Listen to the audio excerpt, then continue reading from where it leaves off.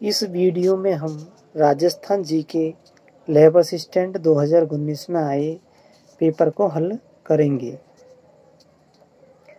वीर सतसई, बलवंत विलास, राम रंजाट वंश भास्कर और इसके अलावा इनके अन्य ग्रंथ और हैं। छंद मयूख, उमेद सिंह चरित्र और बुद्धि सिंह चरित्र इनके लेखक कौन है? तो इनके लेखक है सूर्यमल मिश्रण। तो वीर, सत्सई, बलवंत, विलास और राम रंजाट के लेखक हैं सूर्यमल मिश्रण। बूंदी नरेश के महाराव, राम सिंह के दरबारी कवि सूर्यमल मिश्रण थे। पिंगल भाषा में यह ग्रंथ लिखा था। अगला है बागौर बागौर प्राचीन सभ्यता है और ये भीलवाड़ा ज़िले की कोठारी नदी के कांठे पर स्थित है। मैनाल में सुहेवेश्वर शिव मंदिर का निर्माण किस चौहान शासक ने करवाया था? तो मैनाल में सुहेलेश्वर शिव मंदिर का निर्माण पृथ्वीराज सेकंड ने करवाया था। तो मैनाल के शिव मंदिर का निर्माण पृथ्वीराज सेकंड ने करवाया था और इस मंदिर को हम मिनी खजुराहो भी कहते हैं और ये ग्यारहवीं सदी में इसका निर्माण हुआ था। मैनाल। मैनाल शिव मंदिर। चित्तौड़गढ़ ज़िले में है और ये चित्तौड़ से 90 किलोमीटर दूर है और टोंक से 70 किलोमीटर दूर है। कौन सा अभिलेख कौन सा अभिलेख मंडौर के प्रतिहारों के इतिहास की जानकारी देता है? तो मंडौर जोधपुर ज़िले में रेलवे स्टेशन से 9 किलोमीटर दूर है और यह प्रतिहारों के इतिहास की जानकारी देता है। मंडौर का शिलालेख है घटियाड़ा का अभिलेख।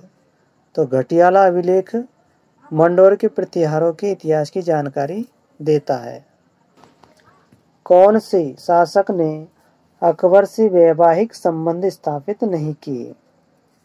तो अकबर से वैवाहिक संबंध स्थापित करने वाले हैं आमेर के भारमल, जैसलमेर के रावल हरराय और बीकानेर के राव कल्याणमल। इन्होंने अकबर से वैवाहिक संबंध स्थापित किए थे, लेकिन रणथंबोर के राव सृजन हाडा रणथंबोर के राव सृजन हाडा ने अकबर के साथ वैवाहिक संबंध स्थापित नहीं किए। आभा महल में पाँच मंजिल है। पहली मंजिल है, शरद मंजिल, दूसरी रत्न मंजिल, तीसरी विचित्र मंजिल, चौथी है प्रकाश मंदिर, और पांचवी है सबसे ऊपर ही ऊपर, छत के ऊपर जो मंजिल है। वो है हवा महल, यानी सॉरी हवा मंदिर है। तो इस तरह से नीचे से ऊपर जाता है तो सबसे पांचवी है हवा मंदिर। तो वो इस एग्ज़ाम में रत्न मंदिर को ही पहली मंदिर माला, माना गया है, लेकिन पहली मंदिर, सॉरी पहली मंजिल शरद मंदिर है। अफीम से संबंधित रॉयल कमीशन निम्न में से किस वर्ष में राजस्थान आया था? तो रॉयल कमीशन राजस्थान में आया था अठारह सौ तिरानवे ईस्वी में। बेगू किसान आंदोलन। बेगू किसान आंदोलन चित्तौड़गढ़ जिला यानी मेवाड़ में बेगू नामक स्थान पर होता है और इसका नेतृत्व करते हैं राम नारायण चौधरी। तो बेगू किसान आंदोलन का नेतृत्व करते हैं राम नारायण चौधरी। भगत आंदोलन। भगत आंदोलन किसके द्वारा प्रारंभ किया गया? भगत आंदोलन राजस्थान के डूंगरपुर व बांसवाड़ा ज़िले में भील जनजाति में सामाजिक जागृति उत्पन्न करने के लिए शुरू किया गया था और इसकी शुरुआत की थी गुरु गोविंद गिरी ने। और इनके शिष्यों को भगत कहते थे, इसलिए भगत आंदोलन कहलाया।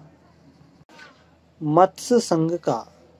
मत्स्य संघ का कौन सा राज्य जनता के बहुमत के आधार पर उत्तर प्रदेश के साथ विलीनीकरण के लिए तैयार हो जाता है?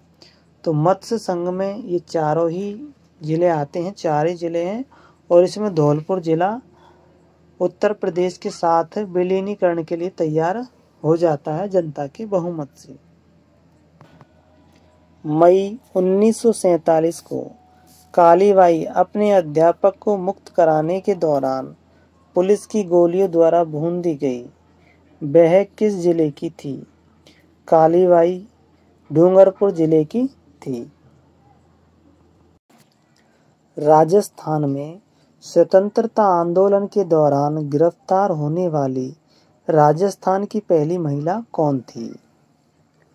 तो राजस्थान की पहली गिरफ़्तार होने वाली महिला है अंजना देवी चौधरी।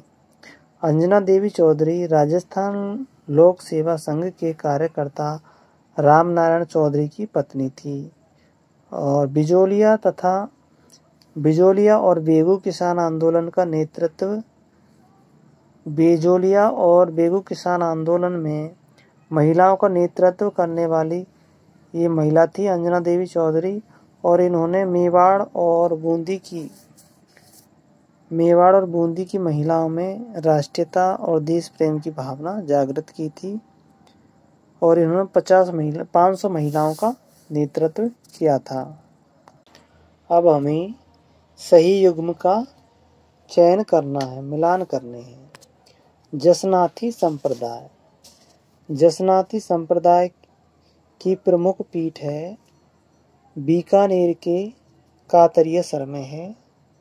जसनाती संप्रदाय के लोग धधकते अंगारों पर अग्नि नृत्य करते हैं और इसके अनुयायियों की संख्या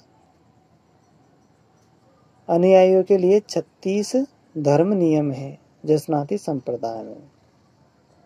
शीतला माता।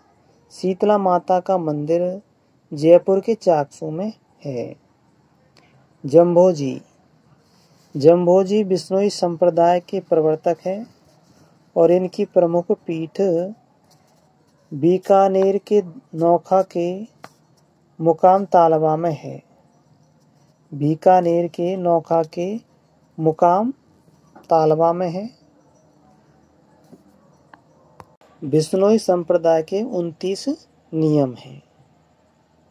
जीर्ण माता। जीर्ण माता ये सीकर ज़िले के रेवासा में है इसका मंदिर जीर्ण माता का। राजस्थान के कौन से क्षेत्र में चैत्र शुक्ल पंचमी को गुलाबी गणगौर मनाई जाती है? सभी क्षेत्रों में तीज को तीज को गणगौर मनाई जाती है शुक्ल की। चैत शुक्ल तीज को, लेकिन चैत शुक्ल पंचमी को जो गणगौर मनाई जाती है, वो राज संबंध ज़िले के नाथ द्वारा में मनाई जाती है। यानी कि सारे जितने भी स्त्री पुरुष हैं, वो गुलाबी कपड़े पहनते हैं नाथ द्वारा में। अगला है, संत पीर साहली और तुगनगीर ने 400 साल पहले मेवाड़ में किस ख्याल की रचना की थी? यानी संत पीर शाह अली और तुगनगीर ने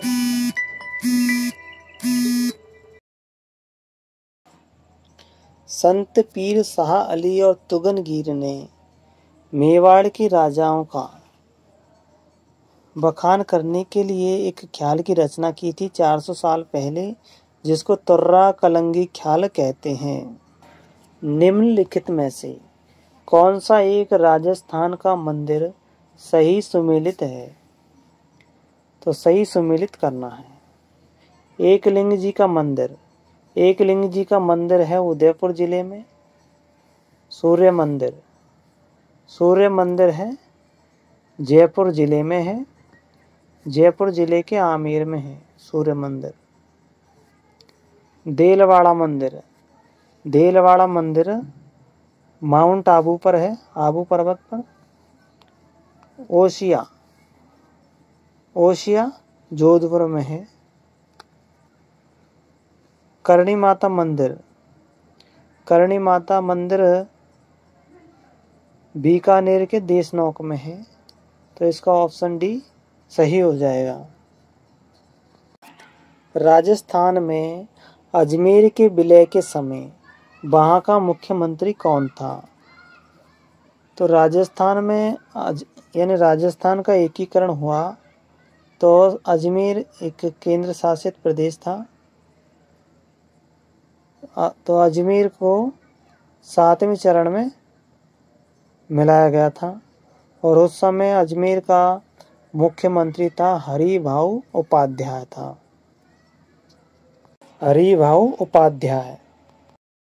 कोटा में अठारह सौ सत्तावन के विद्रोह का नेता कौन था? तो कोटा में अठारह सौ सत्तावन के विद्रोह का नेता जय दयाल था। जय दयाल ऑप्शन सी। राजस्थान के किस गढ़ को धाराधार गढ़ के नाम से भी जाना जाता है। तो राजस्थान के किस गढ़ को धाराधार गढ़ के नाम से भी जाना जाता है? तो ये है चौमुहागढ़ चौमुहागढ़ को जिसको हम चौमू पुलिया भी कहते हैं और यह जयपुर के चौमू में है।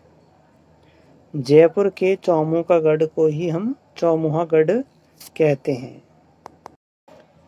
चाँद बावड़ी चाँद बावड़ी कहाँ स्थित है? चाँद बावड़ी दौसा ज़िले के आभानेरी में स्थित है। राजस्थान के कौन से संत और रामानंद के शिष्य ने अपने राज्य को त्याग कर गुरु मंडली में शामिल हुए? तो यहाँ धन्ना जी, ये किसान जाट परिवार से हैं। जम्भो जी, धन्ना जी किसान जाट परिवार से है, रामानंद के शिष्य हैं। जम्भो जी ये राजा, राज परिवार से संबंधित है और ये इनके गुरु गोरखनाथ है। पीपा जी ये राज परिवार से संबंधित हैं और इनके शिष्य रामानंद है, रैदास जी, जो एक रैदास जी एक गरीब परिवार से संबंधित है। और ये भी रामानंद के शिष्य है। तो गुरु मंडली अपने राज को त्याग करके गुरु मंडली धारण की थी तो वो हो जाएँगे संत पीपा जी संत पीपा जी का जन्म गागरोन की किले में होता है। गागरोन के हैं संत पीपा जी लोक देवता गोगा जी के थान सामान्यतः किस पेड़ के नीचे पाए जाते हैं? तो लोक देवता गोगा जी इनकी मूर्ति पर सांप का चिन्ह होता है। और ये पाँच पीर के नाम से भी, पाँचों पीरों में भी इनका नाम आता है। और इनके पेड़, इनके थान के थान के ऊपर खेजड़ी का पेड़ होता है। खेजड़ी के पेड़ के नीचे इनके थान होते हैं। कुदरत सिंह को किस हस्तकला में महारत के लिए पद्मश्री से अलंकृत किया गया? तो कुदरत सिंह सोने चांदी के बर्तनों पर नक्काशी किया करते थे, उनकी गढ़ाई करते थे। तो इसको मीनाकारी कला कहते हैं और ये जयपुर की है। जयपुर के हैं। मोहम्मद शाह और साहिब राम, किस राजस्थानी चित्रकला शैली के प्रसिद्ध चित्रकार थे? तो मोहम्मद शाह और साहिब राम, ये जयपुर चित्रकला शैली के प्रसिद्ध चित्रकार थे। दादू और उनके शिष्यों की रचनाएँ अधिकतर किस भाषा में पाई जाती है? तो इनकी रचनाएँ पाई जाती है, दादू और उसके शिष्यों की रचनाएँ ढूंढाणी भाषा में पाई जाती है। इन जयपुर क्षेत्र की भाषा है ढूंढानी। राजस्थानी ऊँट का वैज्ञानिक नाम। राजस्थानी ऊँट का वैज्ञानिक नाम है कैमिलस ड्रोमेडेरियस। कैमिलस ड्रोमेडेरियस। स्थिरता के साथ विकास और आत्मनिर्भरता किस योजना का लक्ष्य है? स्थिरता के साथ विकास और आत्मनिर्भरता किस योजना का लक्ष्य था? तो ये था चतुर्थ पंचवर्षीय योजना। चतुर्थ पंचवर्षीय योजना। सोम अम्बा कमला। सोम, कमला अम्बा यह सिंचाई परियोजना है, डूंगरपुर ज़िले की है। डूंगरपुर ज़िले की सोम अम्बा कमला। निम्नलिखित में से कौन हनुमानगढ़ व चूरू जिलों के लिए जल का स्रोत है? हनुमानगढ़ और चूरू ज़िले के लिए जल का स्रोत है चौधरी कुम्हाराम लिफ्ट नहर तो हनुमानगढ़ और चूरू ज़िले में और किसी से जल नहीं आता, केवल आता है तो चौधरी कुंभाराम लिफ्ट नहर के ज़रिए आता है। निम्नलिखित में से कौन राष्ट्रीय राजमार्गों में से कौन सा राजस्थान में अजमेर को बीकानेर से जोड़ता है? राष्ट्रीय राजमार्ग है जो अजमेर को बीकानेर से जोड़ता है। वो है एन एच एट्टी नाइन, यानी कि नवासी। अगला है निम्नलिखित में से किस खनिज के उत्पादन में राजस्थान का भारत में पहला स्थान है? तो उस खनिज का नाम है फेल्सपार। फेल्सपार राजस्थान में, भारत में राजस्थान का पहला स्थान है फेल्सपार की उत्पादन में। स्टेट ऑफ़ फॉरेस्ट, रिपोर्ट 2017 के अनुसार राजस्थान राज्य के पंजीकृत वन क्षेत्र का निम्नलिखित में से कौन सा प्रतिशत अंश आरक्षित श्रेणी के अंतर्गत आता है? आरक्षित श्रेणी के अंतर्गत आता है, अड़तीस पॉइंट ग्यारह परसेंट आता है। शेरगढ़ वन्य जीव क्षेत्र निम्नलिखित में से किस ज़िले में स्थित है?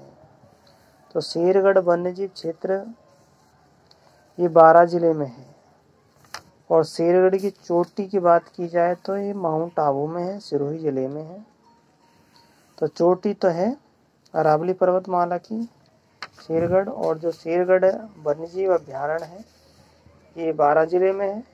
और शेरगढ़ शेर शाह सूरी ने इसका मरम्मत करवाई थी, इसके आधार पर इसका नाम शेरगढ़ पड़ा। और ये शेरगढ़ है, बारह ज़िले में है। शेरगढ़ बारह ज़िले में है। आदिवासियों के हरे सोने के नाम से जाने जाने वाला वृक्ष है। तो उस वृक्ष का नाम है बाँस। बाँस को आदिवासियों का हरा सोना कहते हैं। ओजोन दिवस कब मनाया जाता है? ओजोन दिवस 16 सितंबर को मनाया जाता है। ओजोन दिवस 16 सितंबर को मनाया जाता है, यानी कि 16 सितंबर कहे तो सर्दी और बरसात के बीच में। निम्नलिखित में से कौन सा एक ब्लू बेबी सिंड्रोम से संबंधित है? तो ब्लू बेबी सिंड्रोम में त्वचा नीली हो जाती है और यह नाइट्रेट के कारण होता है। तो नाइट्रेट तत्व के कारण होता है, पानी में नाइट्रेट की मात्रा होने पर। ऑप्शन ए इसका आंसर हो जाएगा। अगला है, राजस्थान में थार मरुस्थल से प्रभावित क्षेत्र व जनसंख्या का प्रतिशत कितना है? तो थार मरुस्थल से प्रभावित क्षेत्र है इकसठ परसेंट और जनसंख्या का प्रतिशत है चालीस परसेंट। ऑप्शन बी इसका आंसर हो जाएगा। रेड क्लिप रेखा। रेड क्लिप रेखा राजस्थान में इसका विस्तार है। तो ये पाकिस्तान और हिंदुस्तान को अलग करने वाली रेखा है। यह गंगानगर ज़िले के हिंदूमल पोर्ट से लेकर बाड़मेर के बरखाना, बाखा, बाखासर तक है। बाड़मेर के बाखासर तक स्थित है। राजस्थान का देशांतर विस्तार है तेईस डिग्री तीस डैश से लेकर के तीस डिग्री बारह डैश तक, बारह मिनट तक उत्तरी देशांत, उत्तरी अक्षांश और उनहत्तर डिग्री तीस डैश से अठहत्तर डिग्री सत्रह डैश पूर्वी देशांतर में स्थित है राजस्थान।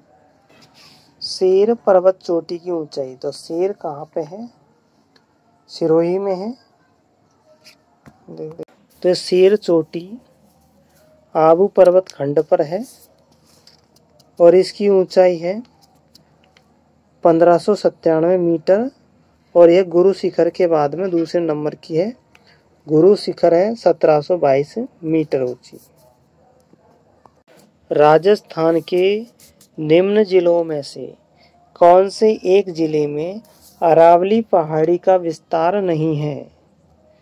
तो राजस्थान में अरावली पर्वतमाला का मुख्य रूप से विस्तार सात जिलों में है। लेकिन जालौर ज़िले में नहीं है। जालौर ज़िले में अरावली पर्वतमाला नहीं है।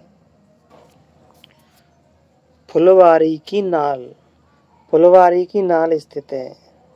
तो फुलवारी की नाल महाराणा प्रताप की कार्यस्थली है और यह उदयपुर ज़िले में स्थित है। निम्नलिखित में से कौन सा युग्म सही सुमेलित नहीं है? गग्गर नदी को मृत नदी कहते हैं। बोराट का ये पठार है। नागपानी। नागपानी अरावली पर्वतमाला की चोटी है और इसकी ऊंचाई है आठ सौ सड़सठ मीटर और यह सिरोही ज़िले में है। शेर। शेर अरावली पर्वतमाला की चोटी है और इसको हमने बताया था।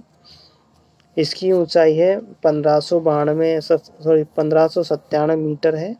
गुरु शिखर के बाद में दूसरी चोटी है आबू पर्वत पर है और सिरोही ज़िले में है। नागपानी दक्षिण पश्चिम अरावली में स्थित है।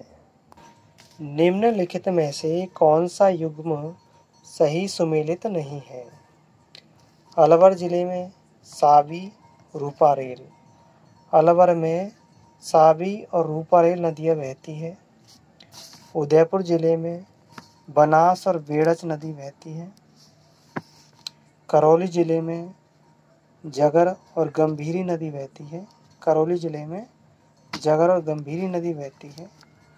डूंगरपुर ज़िले में तो जो बाणगंगा और मोरेल, ये दोनों नदियाँ जयपुर ज़िले से निकलती है। बाणगंगा, जयपुर, दौसा और भरतपुर होते हुए यमुना नदी में मिल जाती है और मोरेल जयपुर से होती हुई सवाई माधोपुर में बनास नदी में मिल जाती है।